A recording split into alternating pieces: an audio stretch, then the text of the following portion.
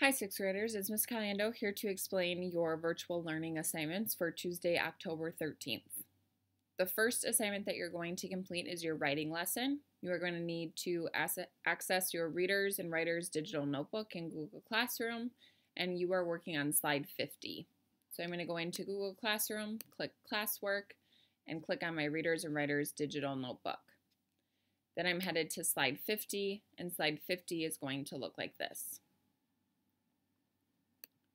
Once I'm on slide 50, my first, my first task that I need to complete is watching my mini lesson video. So I'm going to go ahead and click on the link here. It's going to bring me to my mini lesson video for the day and a reminder that your username is Caliendo6 and your password is Tyson6.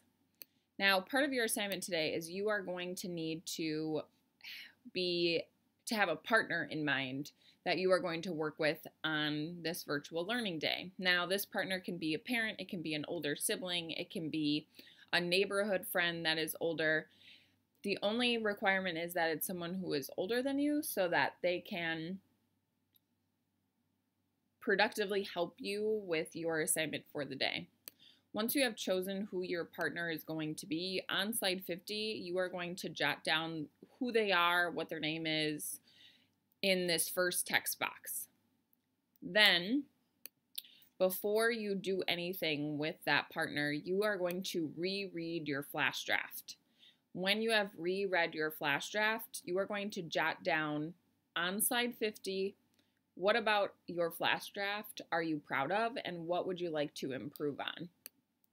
So I'm going to reread my flash draft and now in this box I'm going to list what I'm proud of and in this box, I'm going to list what I would like to improve on. What could I do to make it better? Then you are going to see a clip of two partners working together as writing partners. And when you watch that clip, I want you to jot down on the chart and on slide 50 two things you noticed about the partners in the video clip. So you will do that in your red box down here. What are two things you noticed about what those partnerships were doing in that video clip?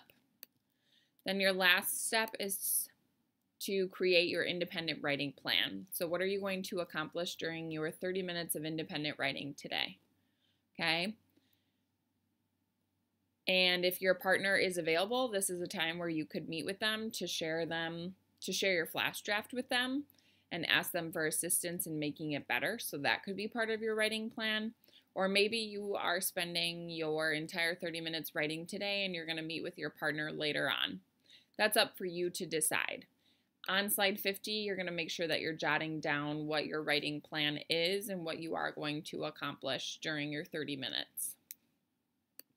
The timer is here for you if you need it. Boys and girls, please make sure that you're spending some time with that partner talking about your flash draft. It's super important that you meet with them and use them as a resource to help you improve your flash draft of your writing project. Then, your last assignment is to make sure that you have listened to the Book Boys Refugee video, which will be linked right here and then you are working on the Padlet response. And so a reminder to you that when you click on the link to the Padlet, you are choosing one of these questions to respond to.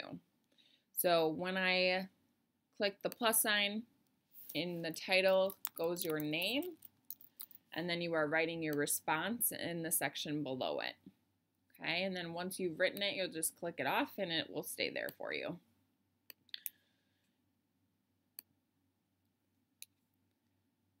And then your refugee assessment will take place on your in-person day next week. So Thursday, October 22nd is when you will take your refugee assessment. If you have any questions or need any assistance, please let me know via email.